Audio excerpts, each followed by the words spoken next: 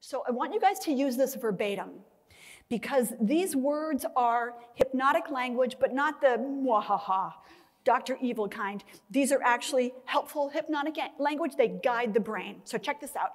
First question What would you like? Positive outcome you can create and maintain. Not, you know, for George Clooney to give me a million dollars. You know, no. So what would you like? Something you can create and maintain. To be peaceful inside, in, you know, regardless of what's happening outside. Something you can do, okay? What will having that do for you? Benefits and how you'll feel. What will having that do for you? What's the difference between would and will? What, is, what, what do you load up when you hear the word, what would you like? What would you like? Possibility, Possibility thank you.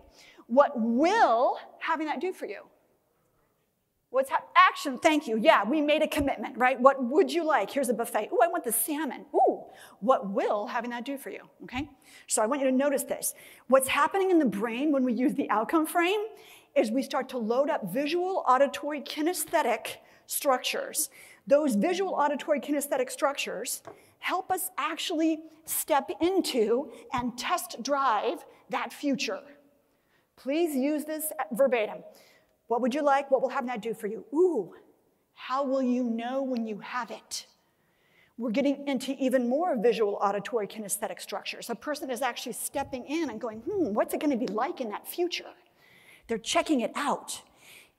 When you use the outcome frame, do it for 15 minutes. I know it sounds like a long time. 15 minutes, every human being will have loaded up enough visual, auditory, kinesthetic, maybe even olfactory and gustatory, the five senses. If we just get three of the five senses, their brain's gonna go, oh, this is actually possible, as opposed to, ooh, this is a fantasy. So we gotta do it for 15 minutes.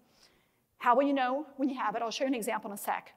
My favorite question, this is the ego question. What of value might you risk or lose?